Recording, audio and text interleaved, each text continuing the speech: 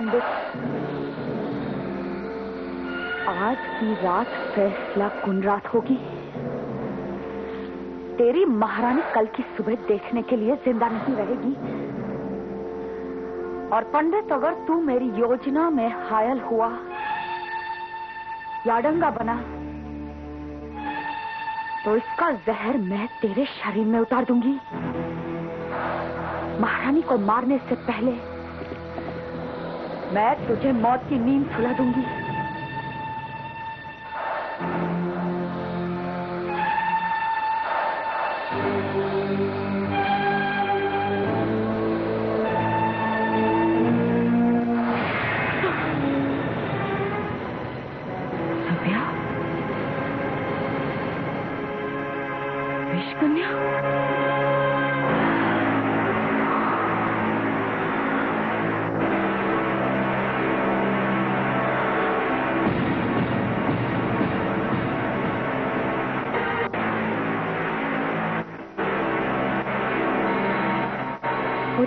जान गई कि मैं विश्वकन्या हूँ। कौन हो तुम? तुम सभ्या नहीं हो सकती। तुम्हारी हकीकत क्या है बताओ? वरना तारा? तारा ये खंजर तुम्हारे सीने के आर पार कर देगी, तारा। अपनी जबान को लगाम दो। तलवार की धार पर चलने वाले खंजर से नहीं डरा करते। और आइंदा सबिया से गुस्ताखी करने की हिम्मत नहीं करना। तुम सभ्या नहीं। एक विश्वकन्या हो। तारा तुम्हारी हकीकत जानकर रहेगी। और तुम्हें तुम्हारी हकीकत बतानी पड़ेगी। खंजर तो मेरे पास भी है, तारा। लेकिन मौत एक ही होगी। और वो होगी तुम्हारी। मौत किसकी होगी, ये तो मेरा खंजर अभी तय कर सकता है। लेकिन अभी मुझे तुम्हारे वजूद का राज जानना है। तुम्हारी बेचैनी, तुम्हारी बुजदिली का सबूत है तारा और विश्वकन्याओं को ये शोभा नहीं देता। अगर मेरे वजूद का राज जानने से तुम्हें चैन मिलेगा तो आओ मेरे साथ।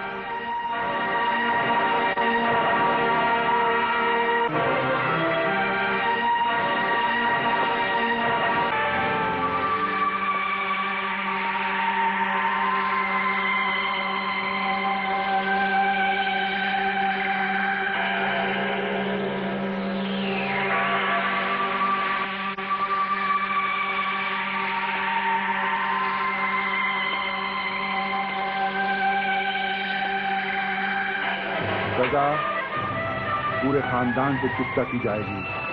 सजा पूरे खानदान से चुकता की जाएगी। तो पर्दाफाश हुआ। ये तुम्हारी साजिश है, तारा। तुमने मुझे यहाँ कैद करके इस फरेबी को मेरी जगह दिलवा के महारानी कलावती को मार डाले की साजिश रची है। ये साजिश तारा की नहीं, मेरी है मेरी। और मेरा निशाना कलावती नहीं। महाराज शिवदत्त हैं।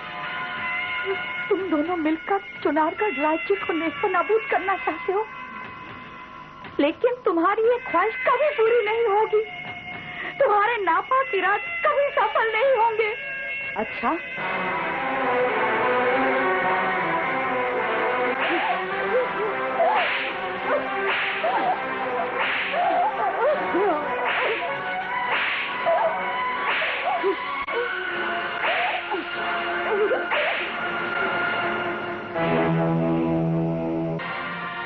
मेरा निशाना कलावती नहीं। महाराज शिवदत्त हैं। तुम दोनों मिलकर चुनारगढ़ राज्य को नेस्त नाबूद करना चाहते हो। लेकिन तुम्हारी ये ख्वाहिश कभी पूरी नहीं होगी। तुम्हारे नापाक इरादे कभी सफल नहीं होंगे। अच्छा।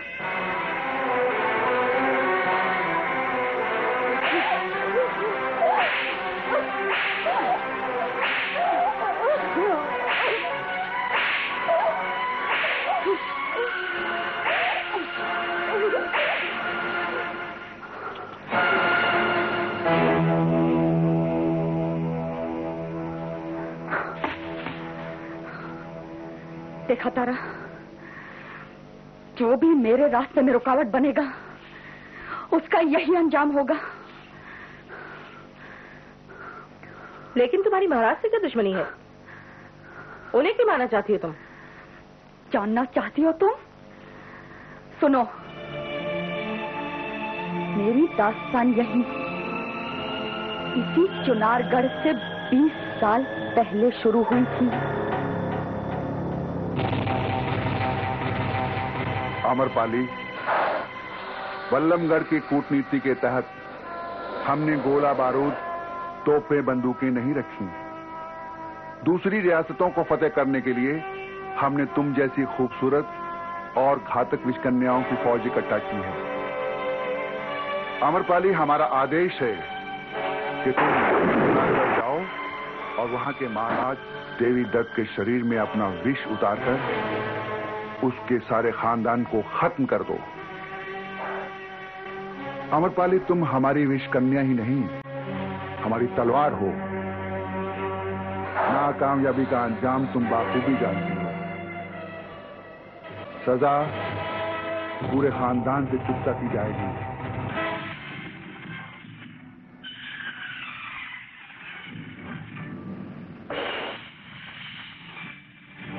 आम्रपाली तो महाराज अनंतपाल की ताबेदार थी और अपने महाराज के हुक्म के मुताबिक उसे चुनारगढ़ के शाही खानदान को खत्म करना ही था।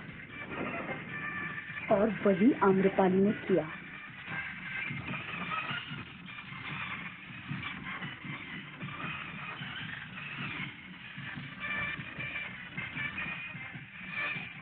ये आसान काम नहीं था तारा। और आखिर एक रोज आम्रपाली ने महाराज देवी दत्त को अपने आगोश में लेकर उन्हें खत्म कर ही दिया।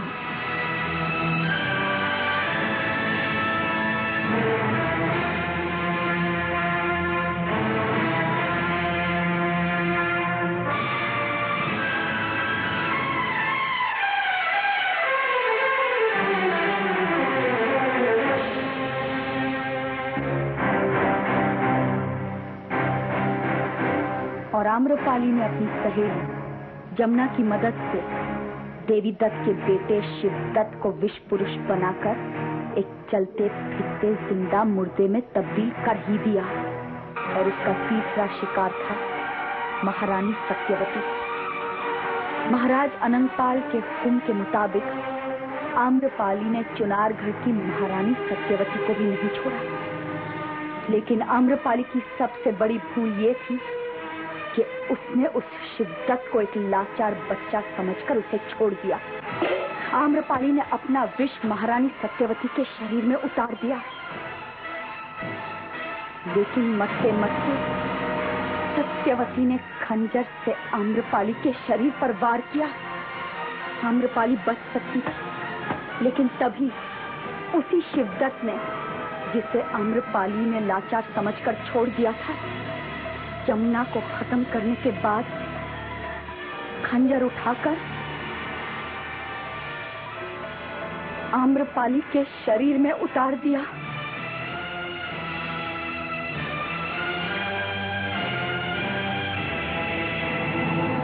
और उसे मौत की नींद सुला दिया। मैं इस दास्तान से वाकिफ हूँ। लेकिन इसके बाद उस दास्तान से तुम वाकिफ नहीं हो। जो बल्लमगढ़ में आम्रपाली की माँ और उसकी बेटी पर गुजरी थी। विषकन्या आम्रपाली ने फ़र्ज़ के तहत अपनी जान की कुर्बानी दे दी। लेकिन उस कुर्बानी का जो सिला बल्लमगढ़ के महाराज अनंतपाल ने आम्रपाली के घर वालों को दिया। वो जुल्म और तबाही की एक और भयानक दास्तान है।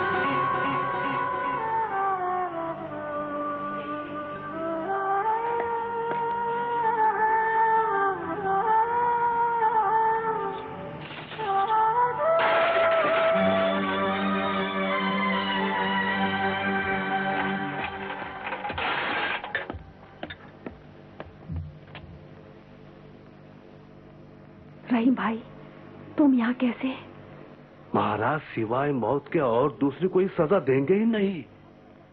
अब अब क्या करें? मैंने आप लोगों के फरार होने का इंतज़ाम किया है। आप दोनों जल्द से जल्द यहाँ से निकल जाइए उस खुफिया दरवाजे से। चलिए चलिए जल्दी चलिए। चल बेटी। चलिए।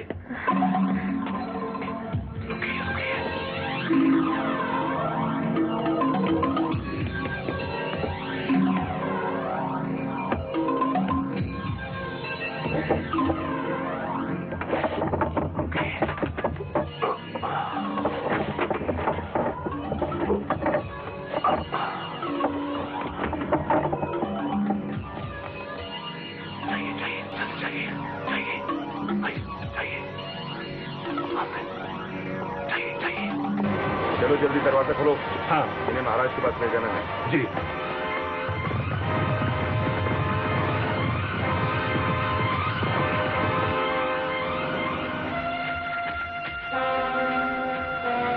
अल्लाह के फजल से हमने आपको तो यहाँ तक पहुँचा दिया। लेकिन ये जगह खतरे से खाली नहीं है। क्या?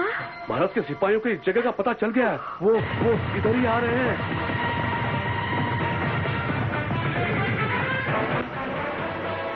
बेहतर होगा? आप दोनों यहाँ से जल्द से जल्द फरार हो जाएँ।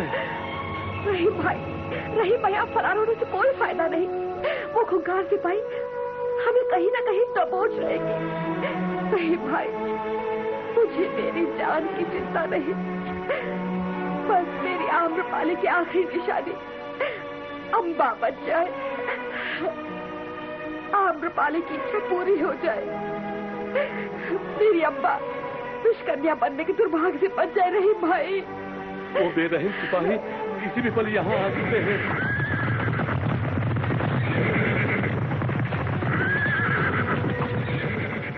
रही भाई आपने बहुत उपकार किए हैं हम पर। बस एक उपकार और कर दीजिए। क्या? अवंतीपुर में आम्रपाली की बहुत गहरी सहेली जो मंगला रहती है वो बहुत मशहूर नर्तकी है रही भाई। मैं उसके नाम एक चिट्ठी लिख देती हूँ।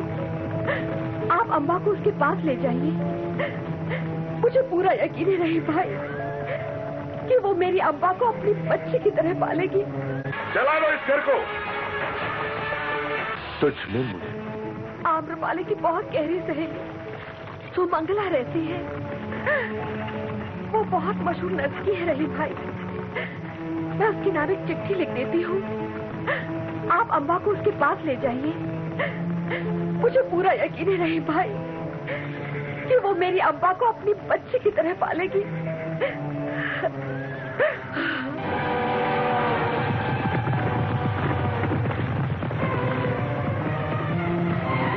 ये लीजिए रही भाई ये सुमंगला को चिट्ठी दीजिएगा और आप अम्बा को लेकर फ़ौरन यहाँ से निकल जाइए। और आप? मैं यही रहूँगी। आप यही रहेंगे तो पकड़ी जाएँगी वो आपको जान से मार डालेंगे। मौत मेरे सामने ही रही भाई। मैं इस घर को आग लगाकर जल मरूँगी या खुदा। हाँ रही भाई ताकि वो सिपाही समझे कि मैं और अम्बा दोनों जलकर मर गई और मेरी अम्बा का पीछा छोड़ दे ताकि मेरी बच्ची सुकून से जी सके रही भाई। चला लो इस घर को।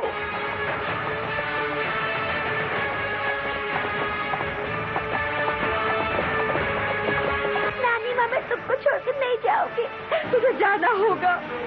तो अपनी नारी का कहना नहीं मानेगी। रही भाई रही भाई, फ़ौरन निकल जाइए। फ़ौरन निकल जाइए रही भाई। निकल जाइए रही भाई।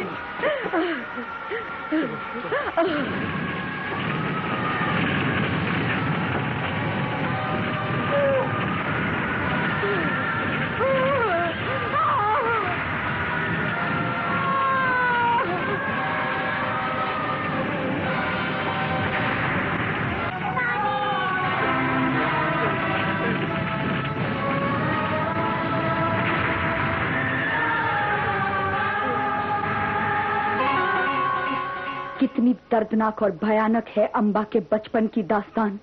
वो तो है। लेकिन तुम्हारी ये दास्तान और महाराज शिवदत्त से तुम्हारी अदावत इन दो अलग अलग बातों का आपस में क्या ताल्लुक है? बहुत गहरा ताल्लुक है। क्योंकि वो बदनसीब अम्बा और कोई नहीं मैं हूँ। मैं। ओ तो तुम अंबा हो। तब तो तुम्हें अपनी तबाही का बदला। बल्लमगढ़ के महाराज अनंगपाल से लेना चाहिए। नहीं। मेरी ज़िंदगी में जब भी खुशी या उम्मीद की किरण फूटी उस किरण को शिवदत्त नहीं बुझाया और मुझे अंधेरों में भटकने के लिए मजबूर कर दिया। ऐसी क्या जाति कर दी शिद्दत ने तुम्हारे साथ? कि तुम उनके खून की प्यासी हो गई? मेरी तबाही का सफ़र शिवदत्त से शुरू हुआ था और इस सफ़र का अंत शिवदत्त के खात्मे से ही होगा। मेरे प्यार और ममता का दूसरा आशियाना शिवदत्त ने ही जलाकर खाक कर दिया। और ये बिजली गिरी। सुमंगला मौसी की सुकून भरी ज़िंदगी पर, जहाँ नानी माँ के कहने पर रहीम चाचा ने मुझे हिफाजत के तौर पर देखभाल के लिए पहुँचाया था। ये तो बहुत बुरा हुआ रहीम चाचा। बल्लमगढ़ के महाराजा को ऐसा नहीं करना चाहिए था। अच्छा हुआ इस मासूम को आप यहाँ ले आए। अर्चना बेटी ये तुम्हारी बहन अम्बा है। अभी हमारे साथ रहेगी। लेकिन रहीम चाचा मासी क्यों नहीं आई?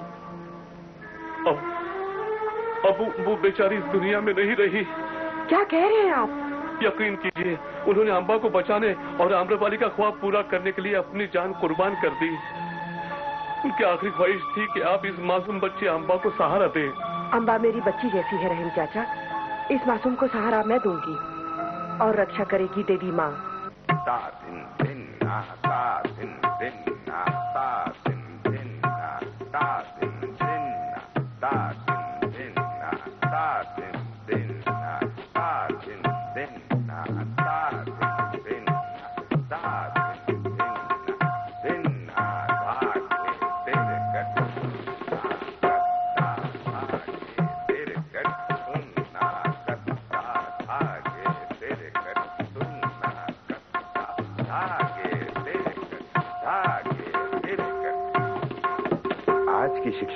हुई बेटी जीती रहो।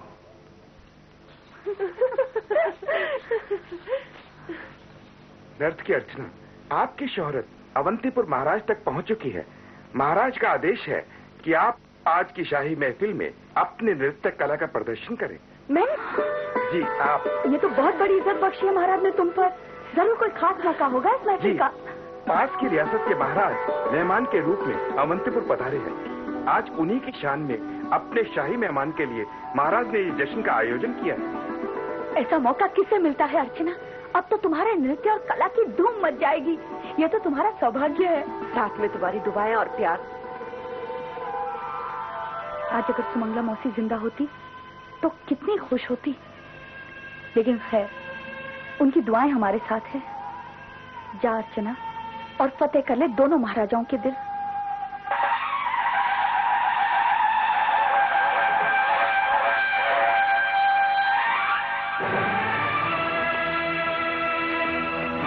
मित्र हो तो आप चाहे साथ रुक जाओ मगर याद रखिए, आपने आज शिवदत्त को बहिष्ठ कर देने का वादा किया है। फिर आप प्यासे नहीं रहेंगे, मित्र। आप अपने आराम गृह में जाइए। ध्रुवचंद ने आपके लिए जिस लाजवाब नर्तकी को पेश किया है, उसके नृत्य से आपका मन भर ही नहीं सकता। जब तक आपकी इच्छा उसके नृत्य का आनंद उठाएँ।